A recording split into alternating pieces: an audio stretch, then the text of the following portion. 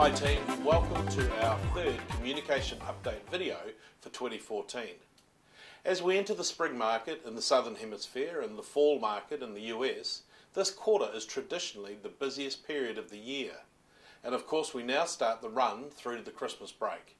I know way too early to start talking about Christmas, but if our clients want to either sell or buy and move before Christmas, realistically there are only five weeks left to achieve that.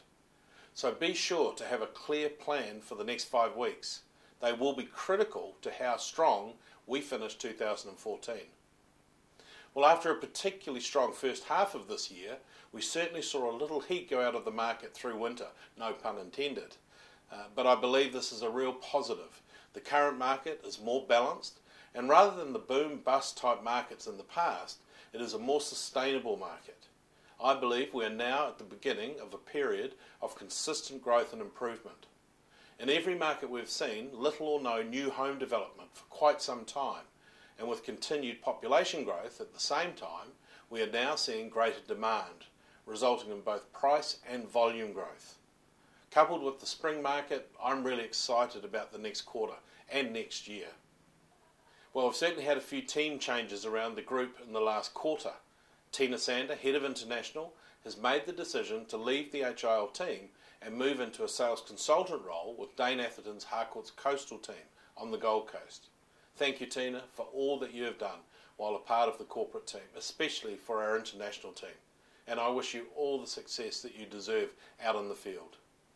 Steffi Andrich has returned from maternity leave and resumed her role as HIL Chief Financial Officer. Welcome back, Steffi. Dean Wilkinson did an exceptional job in Steffi's absence and has now accepted the role of International Development Manager.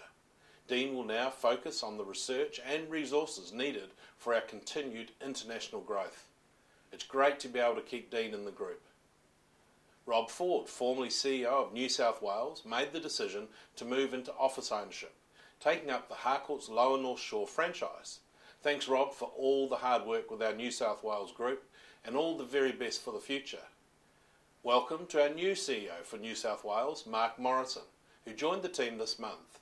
I look forward to seeing the continued growth and success of the group in New South Wales under your leadership, Mark. It was also announced this month that South Australian CEO Greg Moulton has left the group. Greg had been the CEO since the inception of Brock Harcourt South Australia in April 2004 and did an excellent job. In the interim, Harcourt South Australia BDM Andrew Freeby will be acting CEO and with the support of Australian Operations Manager Marcus Williams as we look to identify and appoint a new CEO. Well, if there's one thing that is constant in our industry, it's certainly change. Across the group, we had an outstanding quarter for growth with 34 officers joining the Harcourts team. Standouts last quarter were Victoria, New Zealand, South Africa, and the US. Welcome to all that have just joined. It's great to have you a part of the Harcourts family.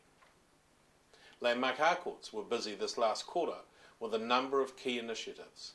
After a successful campaign last year, the team are excited to once again host the exclusive China Property Showcase in China at the end of this month. Last year, the event introduced more than $185 million of Australian properties to Chinese investors. Under the banner Connect with Australia, Landmark Harcourts has joined with influential groups of both business and media partners to stage a series of events. This year, the Landmark Harcourts team will showcase a variety of investment options to potential investors in China, with 54 listings to showcase and 15 Australian business owners in attendance. We really look forward to hearing the results from this year's showcase. Well, our New Zealand team has done it again. In our industry, we know that trust is essential for building long term relationships with clients, and Harcourts New Zealand have made it to the top of the list once again. For the second consecutive year, the New Zealand team has been recognised by Reader's Digest as New Zealand's most trusted real estate brand. This award ensures the Harcourts brand in New Zealand is truly top of mind for strong ethics, values, and genuine professionalism, a significant competitive advantage for the group. Well done to the entire team. You continue to set the benchmark for our entire group. In Indonesia, the team have just held their mid year awards function.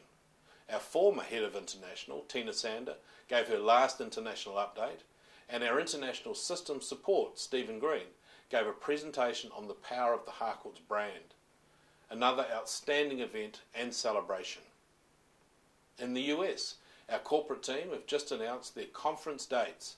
We will be returning to the Riviera Palm Springs on the 10th and 11th of February for our first conference of 2015.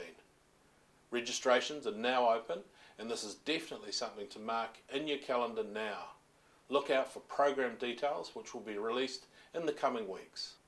Queensland's head auctioneer Ben Brady, along with partner Callista Green, recently made the move to the US to launch the Harcourts auction process. The feedback so far has been outstanding, with both the team and sellers embracing the concept. With 12 auction listings already, the team is really starting to gain momentum. Although I can't believe the first Harcourts auction sale in America was sold prior to auction. A little soft bet. But seriously though, this really is something exciting and shows real courage as our team look to change the industry. Our international marketing team have just launched the second campaign for 2014, Clients for Life. The purpose of this campaign is to highlight the most important part of our business, our clients. The delivery of this campaign is critical to the strength of the message. So I encourage you to reconnect with as many past and present clients as possible and share the message that reiterates their importance to us. Whether it's via thank you cards, DL letterbox drops, video messages, or social media interaction. Imagine the power if every person in our organisation sent just 10 thank you cards to clients in the next 30 days. That's over 100,000 cards with our branding going into the market. A short video on the campaign has been created to share with your database and post to your social media pages. Use hashtag Clients for Life so the world can see the strength of our brand. The campaign is available for Harcourts, Landmark Harcourts and NAI Harcourts, and all products are available through Campaign Track. Check out our Harcourts International Facebook page or Twitter account for the video clip. Let's make this go viral.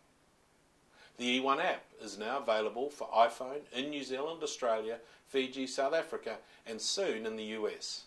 The app allows our team in the field to carry their most important data in their pocket, with quick and easy reminders and fast access to calendar entries.